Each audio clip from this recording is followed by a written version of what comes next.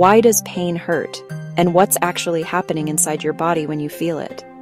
Let's explore the biology of pain. Pain starts when special nerve endings called nociceptors detect damage or danger, like heat, pressure, or a cut. These nerves send electrical signals through your spinal cord to your brain. But here's the twist pain isn't felt in your skin or muscle, it's created by your brain as a warning signal.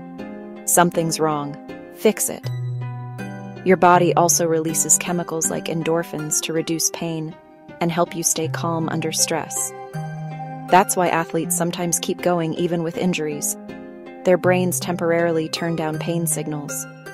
Even emotional pain activates some of the same brain areas, which is why heartbreak can literally hurt. So, pain isn't just punishment, it's your body's way of protecting and healing itself. If you love learning how your body and brain work together, follow for more, and don't forget to like and share this video.